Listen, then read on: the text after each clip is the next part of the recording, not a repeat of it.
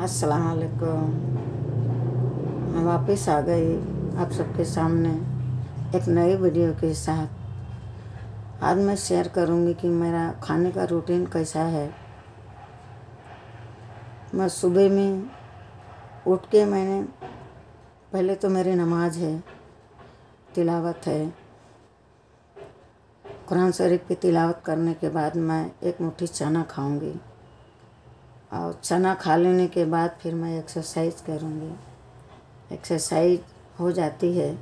उसके बाद मैं कुछ फल खा लूँगी। और फल खाने के बाद मैं थोड़े थोड़े वक्त पे खाती हूँ।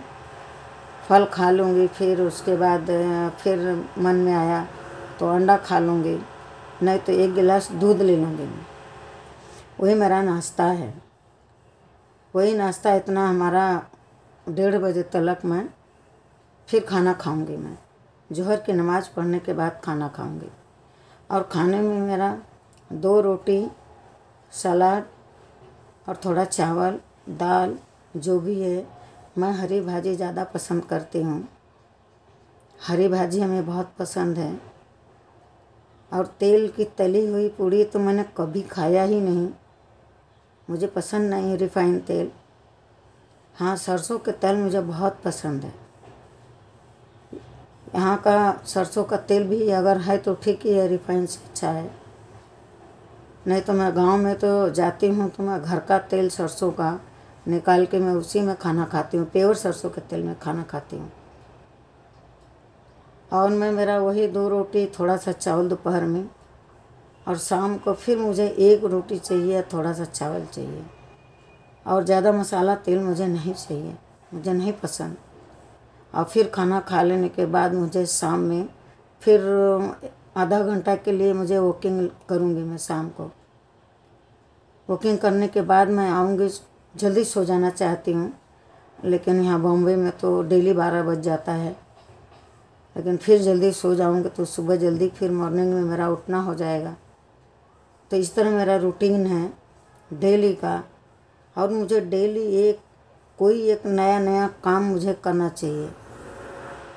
कुछ भी ढूंढते रहूँगे, कुछ नया काम, क्योंकि मुझे बैठना बहुत उलझन होता है बैठने से।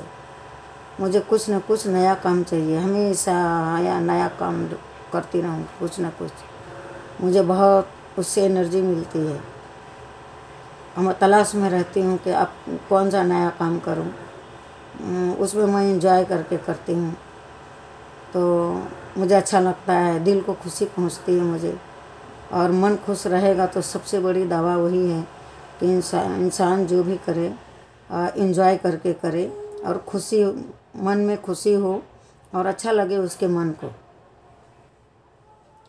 अब इसके बाद फिर वही मेरा रूटीन कुछ न कुछ कुछ न कुछ मुझे, हर दिन नया काम चाहिए मुझे। तो उसके अंदर मेरा मन लगा रहता है और मैं चाहती नहीं हूँ कि मैं हरदम बैठूँ। और सबसे बड़ा नुकसान हमारा यही है कि जब हम एकदम बैठने की कोशिश करते हैं, हम बैठ जाते हैं सोफे पर तो वहीं से हमें बीमारी लगना शुरू हो जाती है। तो प्लीज़ अपने आप को हमेशा एक्टिव रखें और ज़्यादा से ज़्यादा अपने आप को एकदम मेहनत से थोड़ा ले जाए, मेहनत के तरफ़ ले जाए। हाथ पैर हिलाने की कोशिश करें, क्योंकि एकदम बैठ जाना ही हमारे लिए नई बीमारी का की वजह है।